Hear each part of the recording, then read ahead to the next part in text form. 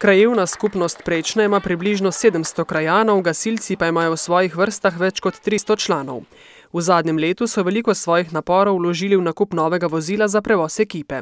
Z vsemi donacijami sponzorjev krajanov smo ga kupili, uh, stalo nas je 35 tisoč evrov. V zadnjem mesecu pa so, tudi s pomočjo donacij, obnovili še gasilski dom. Tako da smo zamenjali streho, prenovili celotno fasado z minimalnimi sredstvi, uh, tako da smo zelo ponosni, da imamo nov in prenovljen gasilski dom. Prečenski gasilci so del Gasilske zveze Novo mesto, ki združuje 47 društev in ima več kot 8200 članov.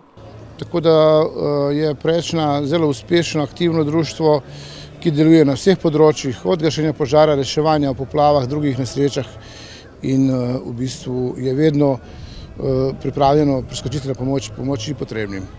Ko gre za požare ali druge nesreče, je nujen takojšen odziv.